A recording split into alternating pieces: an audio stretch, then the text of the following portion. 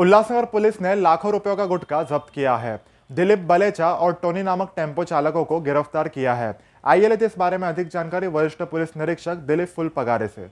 दिनांक सात दहा दोन हजार तेवीस सायंकाळी साडेपाच सहाच्या सुमारास सी ब्लॉक शाड फाटक या ठिकाणी एक संशयित टेम्पो काही दक्ष नागरिकांना आणि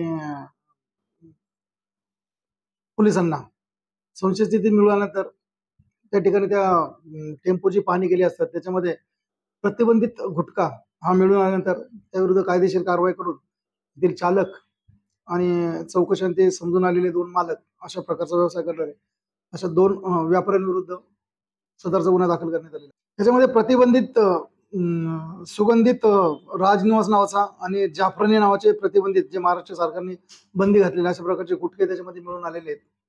ते जप्त करण्यात आलेले आहेत. त्याच्यामध्ये तीन आरोपी आहेत. एक तर संबंधित टेम्पो चालक टेम्पो चालक जो आहे एम एच त्रेचाळीस बी जी अठ्याहत्तर एक्केचाळीसचा चालक किशन त्या टेम्पोचा दोन अशा प्रकारचे जे एक टोनी आणि दुसरा दिलीप अशा दोन आरोपींविरुद्ध हा गुन्हा दाखल आहे.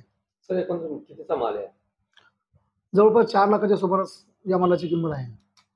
कोणार्क अपना शहर अपनी बातें.